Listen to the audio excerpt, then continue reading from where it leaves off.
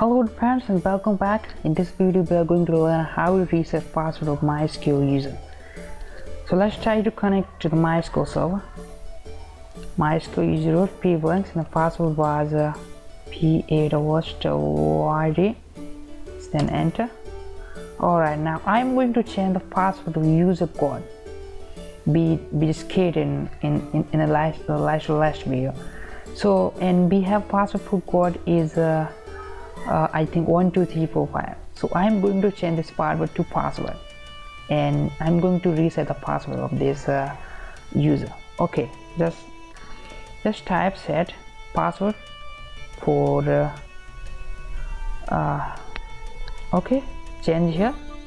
We need to change the password for user code. So just type god code. And then you have to uh, type the password you want to change now new password just type new password.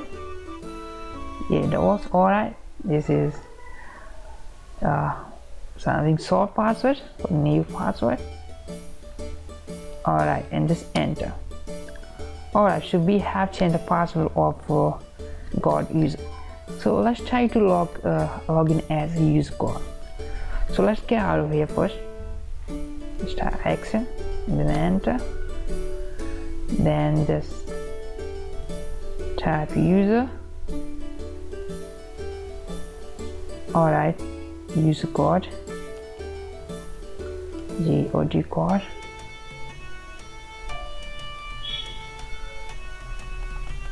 And then a password you just uh, reset it. We enter the new password. New password v801 and enter alright so we have successfully reset the password for this user. Thank you for watching this video. Guys see you in the next video